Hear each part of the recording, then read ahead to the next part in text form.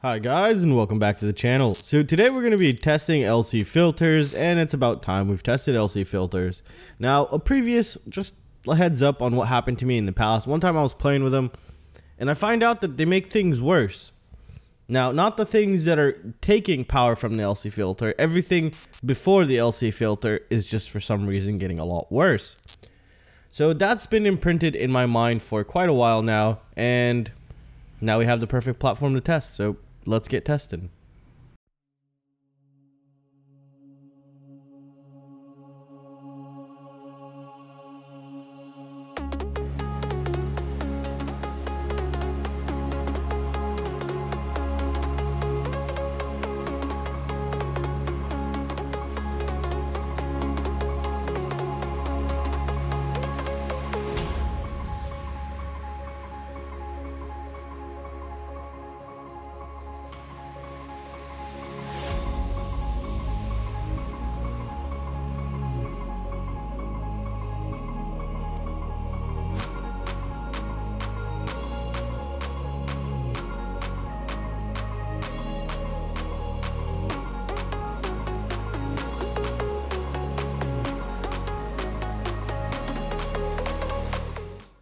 Alright guys, so the testing result was actually pretty strange. Now let's first talk about the LC filter. On the oscilloscope, everything after the LC filter was basically getting like 5 low ESR capacitors. But there was still noise. Isn't that strange? So what happened is that the coil effect, well, let's talk about LC filters. An LC filter is basically a coil or an inductor, whatever you want to call it, it what what that does is basically resist sudden changes in current and obviously voltage spikes and all that kind of stuff. And it also has a capacitor on board to soak up some of the voltage. So it also filters out low and high frequency noise. But I truly believe after this test that LC filters is not for a noisy quad at all. And let me explain why. Even though the testing result was absolutely clean, there was still noise in the system. Now you might say, okay, well, how is there noise in the system?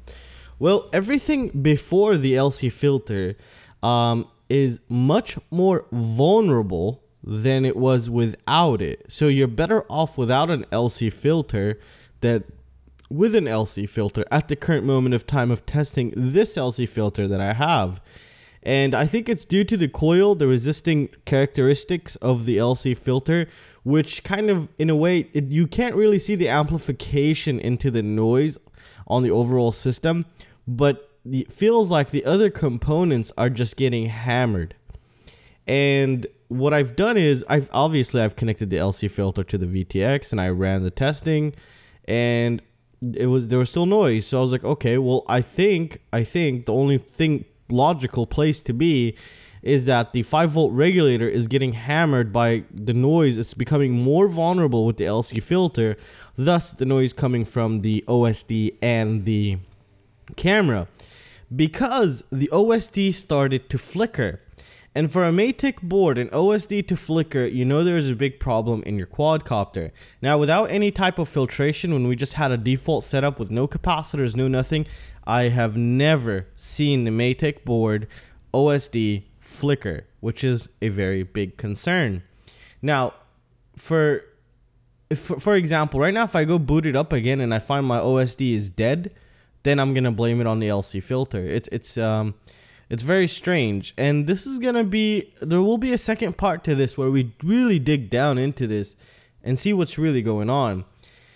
So after seeing that the 5 volt regulator was or the camera still had noise after the LC filter was connected, I said, you know what, I'm going to give power to the camera also from the LC filter and see if that fixes it. While both of the VTX and the camera are still connected to the OSD.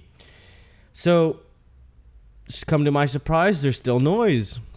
And the OSD is still flickering. I said, okay, well, then maybe I, let me try to put a low ESR capacitor on the 5 volt rail Hopefully it will clean out the noise in the 5 volt regulator. Didn't do nothing. The OSD was still flickering. So that was that was a very big surprise for me. I was really like I just didn't know what to think at the current moment of time. I said, okay, you know what? What I'm going to do next is I'm going to connect the camera and the VTX direct without OSD and see if the noise will go away, since now everything is connected through the LC filter from the VTX and the camera.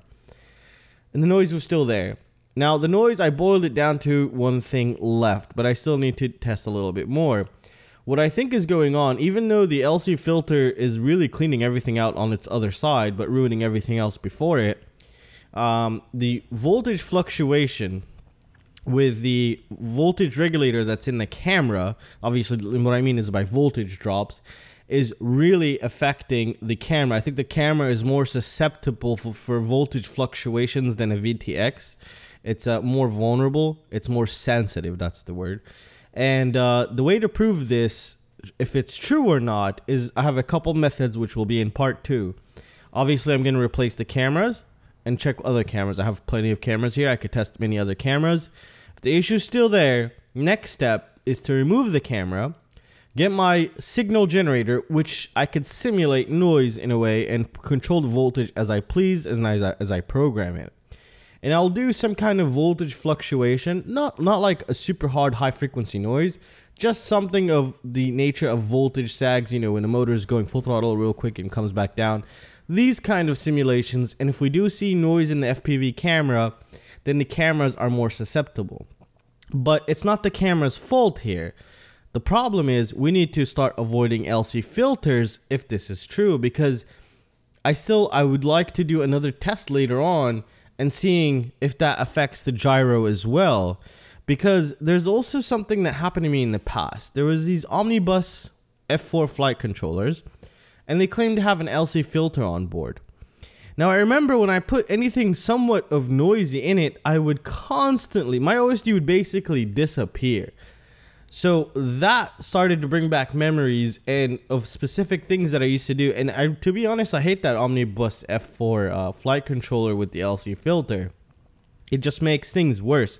Now, this is my current theory, and currently I have some of the data to prove this but obviously I will need to dig in a little bit further to really conclude this. But at the current moment of time, in my personal opinion, I would truly avoid LC filters and I would currently just stick to low ESR capacitors. And I have been getting bombarded with emails and comments about testing diodes and that diodes will be better. But you need to take something into consideration with the diode. There's something called a dropout voltage, which means it, depends on the diode. You could have a one volt dropout voltage in some cases, which means oh, your your your battery's at 16.8 volts, and you add these diodes by your ESCs. Now your ESCs on a full battery are getting 15.8 volts, which is you just lost one volt. So one volt that really counts in your KV.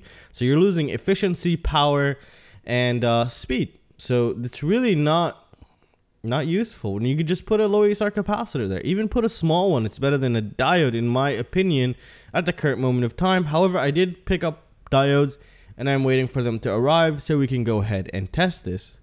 And at the current moment of time, my conclusion is LC filters are a big no-no, but this is only a theory. But for my personal preference, I will never use an LC filter on any quad. I'll only use them for testing purposes. So for this video, I think it's going to conclude it. Um, there's really nothing else to say, and I just basically showed you everything throughout the video that I've gotten. And it's just, it's a very strange, it was really just, um, it lost me. But uh, it needs a little bit more digging into. And that's it, guys. I really hope you guys enjoyed the video. Please consider joining my Patreon. Help support this channel. Help fund this mission for testing every single thing we could possibly test. And you could also use the links down below. Those greatly support the channel. And I hope you guys have a great day. And I'll see you next time. See you guys. Take care.